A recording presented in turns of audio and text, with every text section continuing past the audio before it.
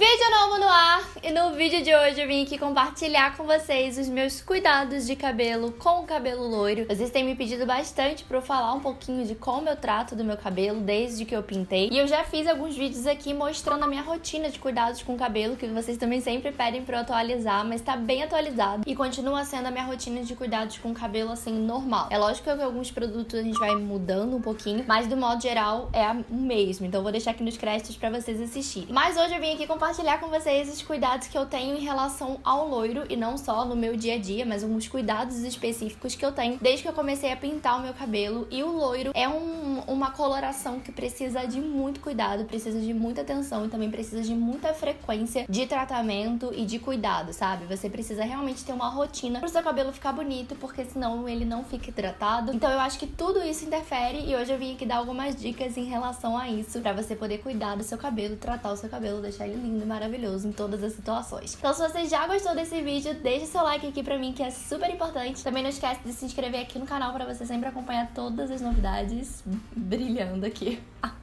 A primeira coisa que eu acho que é super clichê, mas que é um passo que eu preciso falar aqui, porque é um passo que realmente mudou minha vida, mudou minha percepção, que é cortar o cabelo frequentemente. Quando você pinta o cabelo de loiro, sempre as pontas não ficam tão legais assim. As pontas normalmente ficam um pouquinho mais espigadas, não necessariamente uma palha, que aí realmente alguma coisa errada tá acontecendo, mas as pontas sempre ficam um pouquinho mais ressecadas. E aí quando você corta, automaticamente você tira aquelas pontas. Pode ser que seu cabelo em si esteja ressecado, e depois a gente vai falar dos próximos passos, mas principalmente as pontas é o lugar que eu sinto que o meu cabelo fica muito ressecado. E isso foi uma das coisas que eu mais reparei depois que eu comecei a pintar o cabelo, que quanto mais eu cortava, mais o meu cabelo crescia. E isso não é papo de tipo vó que fala para você cortar o cabelo, sabe? Porque antigamente as pessoas ficavam para mim, não, se cortar cabelo tem que tirar as pontinhas, senão não vai crescer. E é real, gente. Eu sempre cortava meu cabelo assim de duas vezes ao ano, mais ou menos, e às vezes dava uma fugida porque eu tinha pavor de cortar o cabelo. Mas desde que eu comecei a cortar meu cabelo frequentemente, tipo, três vezes ao ano, eu senti que ele ficou muito mais fortalecido. Acho que justamente porque você vai dando aquele movimento pro cabelo, você tira aquelas pontas que não estão tão legais. Então eu acho que isso é um passo muito importante. Se você pintar o cabelo, tenta manter a frequência de pelo menos três vezes no ano você cortar o seu cabelo para poder tirar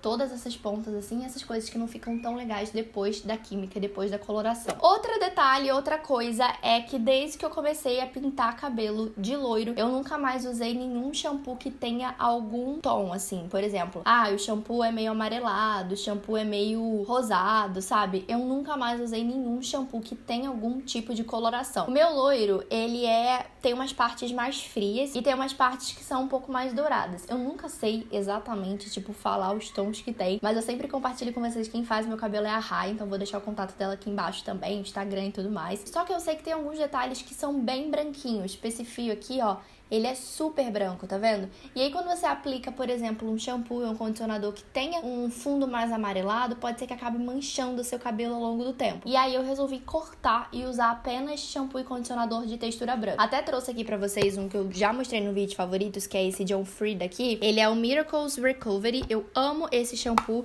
e ele tem... Eita, caiu uma de água que eu peguei do chuveiro ele tem a textura assim bem branquinha, tá vendo? Os únicos que eu não uso que são brancos são o de manter a cor, sabe? De manutenção da cor. Vou até mostrar eles, eles não estavam no meu terceiro passo, mas o terceiro passo para cuidar do seu loiro é você manter a cor. E não necessariamente você tem que ir até o seu profissional pra pintar novamente. Eu acho que, por exemplo, quanto mais espaço de tempo você consegue não fazer as luzes, é melhor pro seu cabelo, porque quanto mais você faz luzes, mais seu cabelo vai ficando danificado também, né? Enfim, tenho dois aqui para mostrar para vocês, mas eu vou falar de três. Esses dois aqui são para loiros, específicos de loiro, e eles são para você manter realmente o seu brilho do cabelo, o tom do seu cabelo. Eu sinto que eles tiram um pouco daquele amarelado de queimado do sol, sabe? E tem um da Aquaflora também que eu amo, tanto shampoo ou máscara você pode usar para fazer isso. Tem um da Aquaflora que eu não tenho mais, mas eu amo também e que serve muito. E aí eu sempre aplico eles assim no intervalo de 15 a 20 dias ou uma vez por mês. Sou um pouco relaxada nesse sentido, eu preciso melhorar, mas uma vez por mês pelo pelo menos eu aplico eles. Vai depender também de acordo com o seu cabelo, de acordo com quanto o seu cabelo vai ficando mais marcado pelo sol, ou adquire mais cor, ou atinge uma coloração que você não gosta tanto. Terceiro passo, que na verdade é o quarto passo já, é o protetor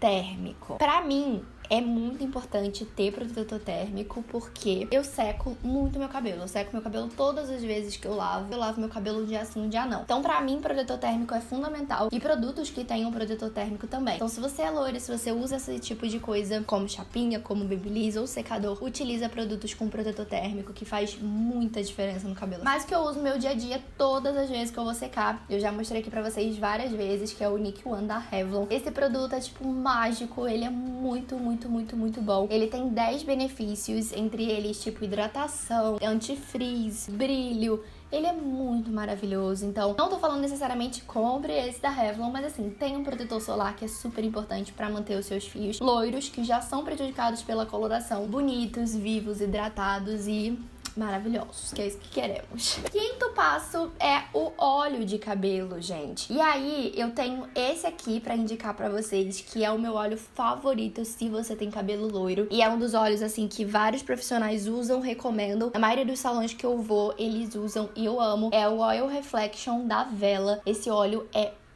perfeito. Ele é maravilhoso. Se você é loira, dá um print, vai lá, busca, que eu tenho certeza que você vai amar. E aí você pode usar o óleo de várias formas que você quiser. Tem esse aqui que é o normal e tem o light. O light é para se você tem um cabelo mais fino, que os produtos pesam mais no seu cabelo, aí você compra o light. Esse aqui super funciona no meu cabelo e olha que o meu cabelo é bem fino e alguns produtos pesam, mas eu acho que ele funciona super bem. Também eu não aplico numa super quantidade. Eu acho que o óleo você pode usar de uma maneira que você faça um tratamento com ele, sei lá, 10 pumps para ir dormir. Você pode usar óleo assim, que super funciona como um fator de hidratação. Ou você pode, por exemplo, usar no seu dia a dia. Eu uso muito ele para dar aquele brilho assim na hora de sair, sabe? Eu lavei o cabelo no dia 1 e aí no dia 2 eu venho com ele, que é o dia que eu não lavo cabelo, e dou uma vitalizada assim no meu cabelo, uma luz, um brilho, e eu amo. Ao mesmo tempo que eu acho que ele diminui o frizz, deixa o cabelo mais bonito, ele também ajuda a hidratar. E aí, por fim, como eu disse para vocês, eu lavo um cabelo um dia sim, um dia não. E tem determinados dias que eu não lavo meu cabelo e eu preciso de algum produtinho que funcione. E nesses últimos dias eu mostrei pra vocês que eu recebi esse produtinho aqui da 3CM. Isso não é um publi, é só porque eu recebi e eu amei e resolvi compartilhar aqui com vocês que é um lançamento. É um shampoo a seco 2 em 1. Um. E eu já comentei aqui com vocês que eu amo, por exemplo, condicionador a. E eu sinto que esse produtinho ele faz as duas coisas, ao mesmo tempo que ele ajuda a tirar a oleosidade da raiz, ele também deixa o cabelo assim gostosinho, sabe? Com uma textura assim meio que hidratante. E é um lançamento, é justamente essa linha para os dias pós a lavagem do cabelo. E para mim, como eu disse, é super importante eu manter esse padrão de um dia sim, um dia não, porque eu seco meu cabelo. Então, se eu for secar o cabelo loiro todos os dias, eu não vou conseguir ter cabelo loiro, porque não vai rolar. Então é isso, gente. Eu espero que eu tenha ajudado vocês de alguma forma aqui com esse vídeo a cuidar do seu cabelo, manter seus fios loiros lindos e maravilhosos. Então, se você gostou, não esquece de deixar o seu like pra mim, que é super importante. Também se inscreve aqui no canal para sempre acompanhar todas as novidades. E a gente se vê no próximo vídeo. Até lá!